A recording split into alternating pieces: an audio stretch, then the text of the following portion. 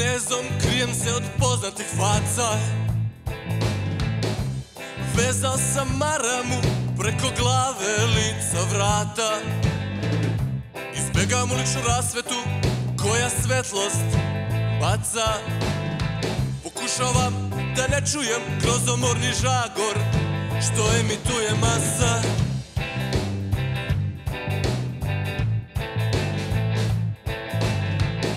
Do ušiju mi dopire mizeran zvuk muzičke radnje. Nekome cima za ruku Okrećem se koji kurac šta je? Mrzim kad me zovu Mrzim kad neko nešto hoće. Samo da stignem u svoj park Da mogu slobodno da ločem.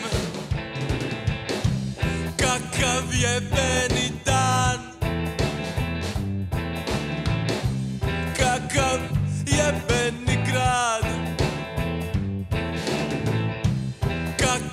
jebeni dan. Kakav jebeni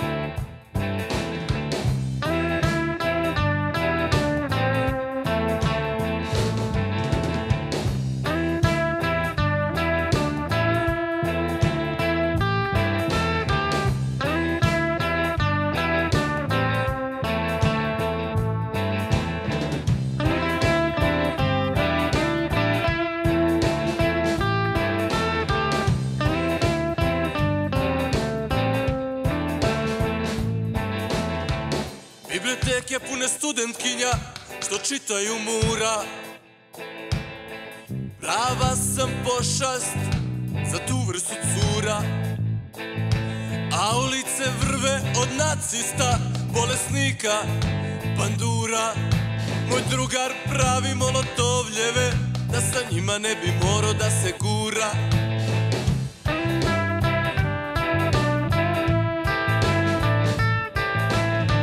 Nepoznatom čoveku razbijam glavu o beton. Zar se ovo može nazvati normalnim svetom? Poželim da me nema na nekoliko dana.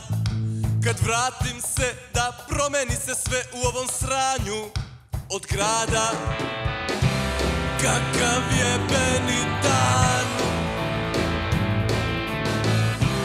Kakav jebeni grad